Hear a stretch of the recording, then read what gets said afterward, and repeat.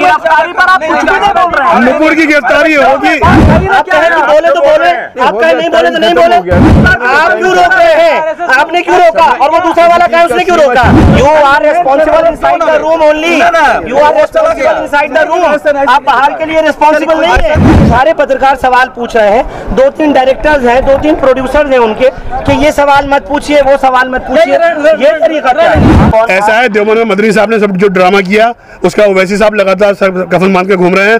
मौलवी अब्दुल कुद्दूस कानपुर के अंदर जो जो ड्रामाबाजी कर रहे थे ये सारे वो लोग हैं जमात इस्लामी के लोग हों पीएफआई हो ये इनका यही गेम चल रहा है कि देश का मुसलमान अपने देश में लड़ता रहे और जलील होता रहे और जेलों में जाता रहे। वो प्रेस कॉन्फ्रेंस ऐसा लग रहा है कि कोई बराबर में बैठ के उनसे बुलवा total sponsored press conference total sponsored press conference ही हैं सवाल हैं। भी? सवाल भी सोएब साहब को वो शख्स बता रहे हैं जो पत्रकारों को सवाल पूछने से रोक रहे हैं। क्या जो आपने प्रेस कॉन्फ्रेंस की है उसका क्या मकसद है आपका? क्या एक मैसेज और पैगाम आपकी प्रेस कॉन्फ्रेंस से देना चाहिए? ये मकसद ये है कि देश के अंदर जो बहुत ज़्यादा तनाव की स्थिति है और पिछले जुमे को जो हुआ वो कहीं से भी इस्लामी नहीं है और इस्लाम के अंदर किसी भी किस्म की हिंसा और ख़ास तौर पर जुमे के दिन नमाज़ पढ़ने के बाद जब हम अमन की दुआ करके निकलते हैं हमारे इमाम उलमा और जो ख़तीब होते हैं वो देश को देश की एकता की बात करते हैं देश के जोड़ने की बात करते हैं हर जुमे के खुद में वो बताते हैं कि वतन से मोहब्बत ईमान है और आप आप वतन से जुड़िए वतन, वतन में अमन कायम करिए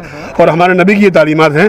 तो ऐसे दिन हम जो है हिंसक प्रदर्शन करें और बगैर किसी लीड के करें। तो जब जिम्मेदार लोग उसमें मौजूद नहीं होंगे तो धरने ऐसे ही होंगे और प्रदर्शन भी ऐसे ही होंगे। ये वो वो मुस्लिम रहनुमा जो मुसलमानों को लगातार बहका रहे थे कई कई दिनों से माहौल गर्म कर रहे थे वो माहौल गर्म करने के बाद गायब हो गए और किसी का नाम देखिए ऐसा है ऐसा है देवबंद में मदनी साहब ने सब जो ड्रामा किया उसका ओवैसी साहब लगातार कफन मान के घूम रहे हैं। मौलवी अब्दुल कुद्दूस कानपुर के अंदर जो जो ड्रामाबाजी कर रहे थे ये सारे वो लोग हैं जमात इस्लामी के लोग हों पीएफआई हो ये इनका यही गेम चल रहा है कि देश का मुसलमान अपने देश में लड़ता रहे और जलील होता रहे और जेलों में जाता रहे। अच्छा मुसलमान इस वक्त करे क्या सुहेब साहब? एक सवाल आप और दूसरा ये कि जब गुस्ताख रसूल इस हद तक आ जाएँ तो क्या बिना किसी की लीडरशिप में भी मुसलमान नहीं खड़ा मुसलमान मुसलमान अपने आप नबी की तालीमात पढ़े। नबी की जो पीस की तालीमात है नबी ने ऐसे मौक़ों पे क्या किया है? नबी ने क्या हुक्म दिया है? हमें वो पढ़ना चाहिए किसी की बातों में नहीं आना चाहिए। हमारे नबी की पूरी ज़िंदगी हर मुसलमान के लिए खुली हुई किताब है। अपने उलमा से जाके वो उलमा जो पॉलिटिकल नहीं है उनसे जाके बात करें। उनसे पूछे कि ऐसे हालात में नबी ने क्या किया है? नबी पर जब जुल्म हुआ तो आपने क्या किया? नबी को किसी ने गाली बगी तो नबी ने क्या किया? और नबी आप अपनी ज़िंदगी में क्या करते थे? जब ये मालूम हो जाएगा तो पीस खुद ही कायम हो जाएगा। तो बुलडोजर वालों की गिरफ्तारी का मांग क्यों नहीं आप कर रहे एक दफ़ा भी कार्रवाई आज उत्तर प्रदेश में हो रही है उस पर आपकी क्या प्रतिक्रिया है?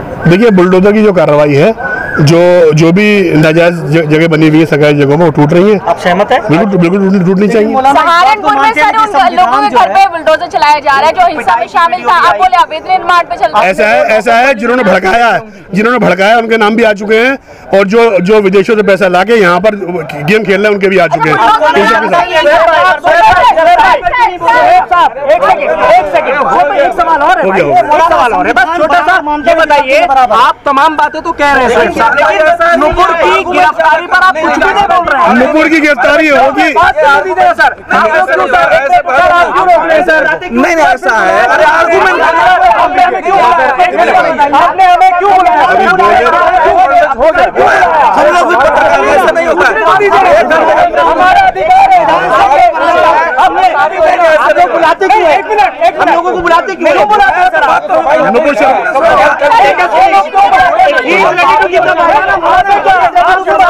इतना सवाल सर नहीं नहीं बुलाए तो प्रेस कॉन्फ्रेंस हो गया प्रेस कॉन्फ्रेंस प्रेस नहीं प्रेस तो हैं? बुलाना चाहिए था आप अपना काम बताइए कि संविधान सभा हो रहा है है? आपकी आप डायरेक्टर है प्रोड्यूसर है कौन है? बताइए आप कहें कि बोले तो बोले। आप कहें नहीं बोले तो नहीं बोले। फिर भी अंदर नहीं खत्म हो गया। तो अंदर नहीं बाहर बात करेंगे। आप पहली बार आप क्यों रोक रहे हैं? आपने क्यों रोका? और वो दूसरा वाला कहा उसने क्यों रोका?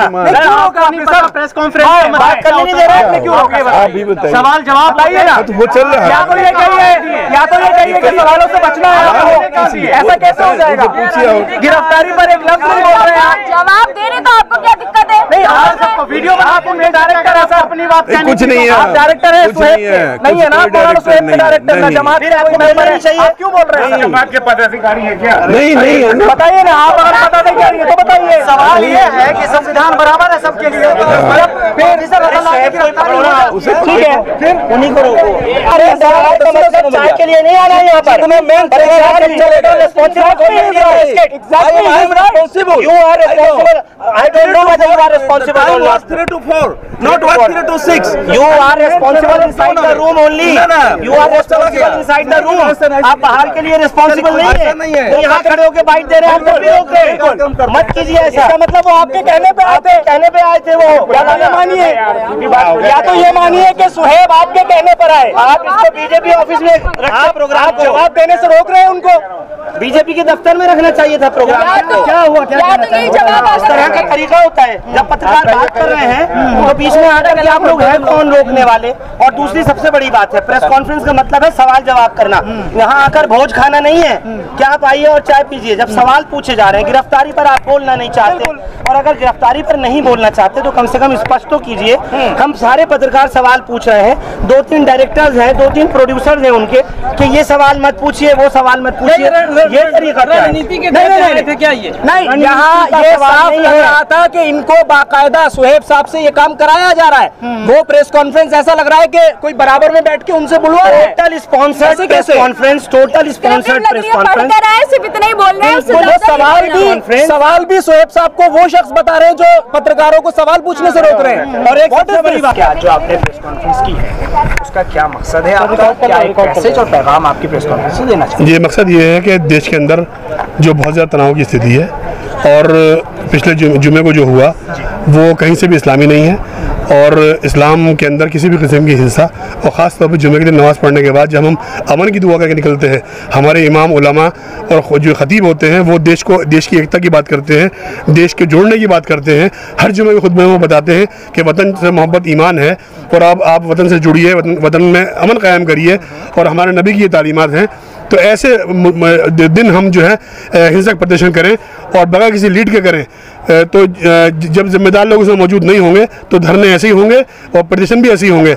ये वो वो मुस्लिम रहनुमा जो मुसलमानों को लगातार बहका रहे थे कई कई दिनों से माहौल गर्म कर रहे थे वो माहौल गर्म करने के बाद गायब हो गए और किसी का नाम देखिए ऐसा है ऐसा है देवबंद में मदनी साहब ने सब जो ड्रामा किया उसका ओवैसी साहब लगातार कफन मान के घूम रहे हैं।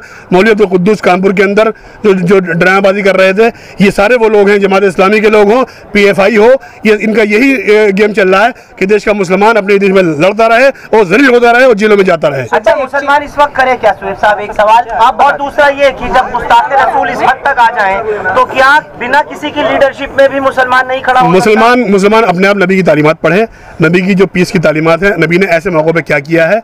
नबी ने क्या हुक्म दिया है? हमें वो पढ़ना चाहिए किसी की बातों में नहीं आना चाहिए। हमारे नबी की पूरी ज़िंदगी हर मुसलमान के लिए खुली हुई किताब है।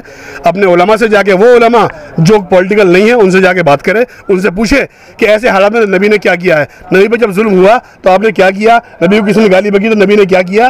और नबी आप अपनी ज़िंदगी में क्या करते थे? जब ये मालूम हो जाएगा तो पीस खुद ही कायम हो जाएगा।